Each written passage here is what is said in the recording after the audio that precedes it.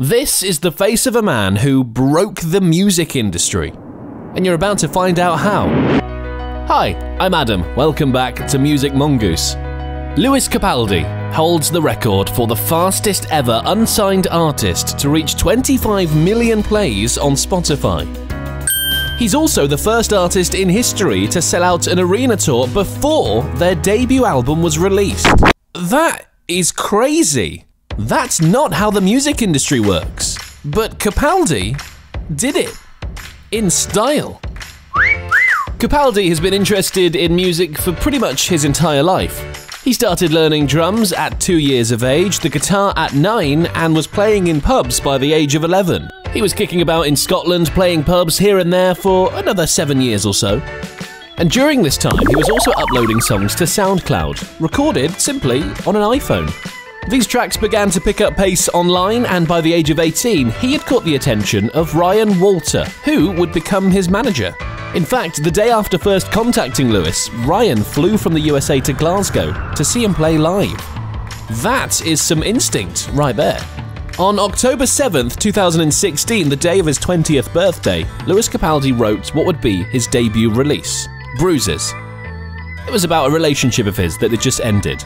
Five months later, in March 2017, as buzz about Capaldi continued to skyrocket on SoundCloud and YouTube, Bruises was independently released. It went on to amass 28 million plays on Spotify in the space of just a few weeks. Pretty good, if you ask me.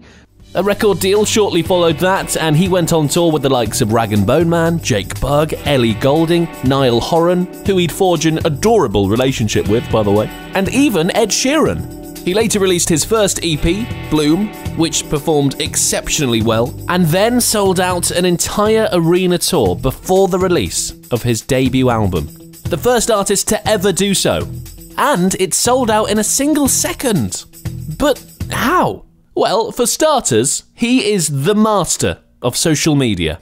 And by that, I mean the guy is hilarious. I've done one. I've done. I've used the toilet last night. Okay, I've used. Uh, sue me. I've used the toilet, and I've at the it.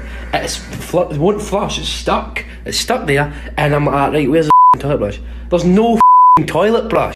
But it's much more than just being funny. Capaldi knows his audience. He knows how they consume social media, and he plays to that to perfection. He's relatable, choosing to broadcast the embarrassing moments of his life that other artists would probably shy away from. He's broken out of that music industry mold of turning the artist into a product of marketing. Instead, there's something endearingly human about him. And incredibly, he convinced label bods to think the same way. I mean, just look at this poster in the London Underground. You wouldn't see Adele doing that. He also knows how to be the subject of talkability. He doesn't shy away from controversy. In fact, his strategy is to embrace and even fuel it.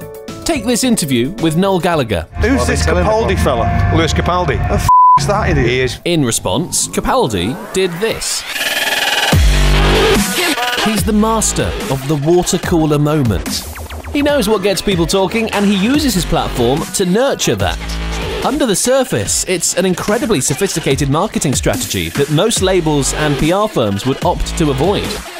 So, social media certainly contributed to his skyrocket to stardom. The other thing was this Someone You Loved. Part of his second EP, Breach.